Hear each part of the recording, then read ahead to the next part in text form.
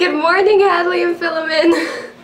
A huge congratulations to the women's field hockey team. They played a fierce game in the freezing cold against Bell in the semifinals, but lost in the shootouts. They fought hard, and our and your coaches are really proud of you. For for our first year team, we did extremely well. Congratulations, girls. Our Rainbow Alliance will be starting up in mid-November. If the rainbow community touches your life in any way, or you may want to attend this alliance. What is the rainbow community?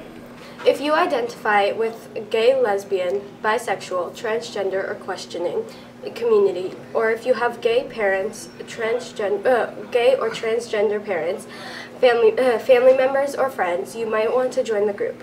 Please see Miss Star Star Starkman or SO3 uh, or Miss Smith in room in room two, 127 for details. This the only talent show of the year will be um, tonight at 6 p.m. in the auditorium. Tickets will be $5 at the door. There will be singing, magic, act, magic acts, bands, and lots more. The band will be um, running a canteen with lots of goodies.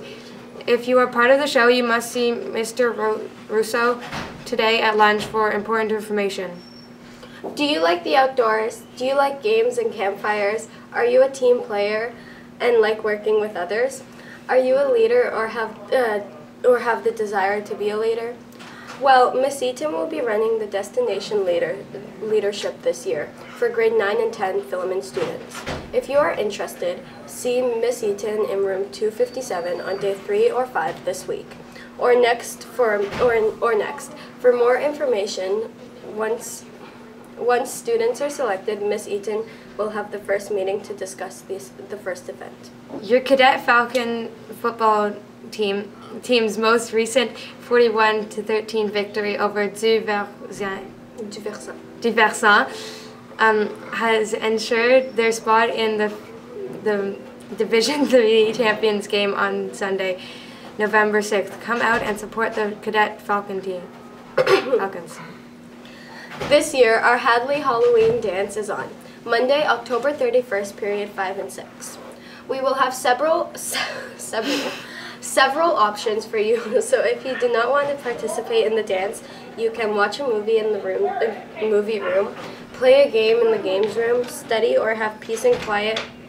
Hair just my eye. Study or have peace and quiet in the quiet room, or go outside and play a sport if you uh, and if you have if you don't get your work in on time you might be assigned remediation the dance will cost $2 and there will be a canteen for some drinks and snacks. There will be prizes and awards for the best costume, most creative, and best thriller dance. Halloween is quickly approaching and hopefully everyone will dress up um, in a great costume.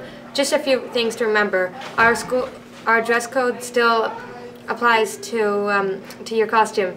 Your head and face must remain uncovered and costumes that refer to race, religion, and sexuality are not acceptable. Someone's culture is not intended as a co costume. Three, one, two, three. Have, Have a great day.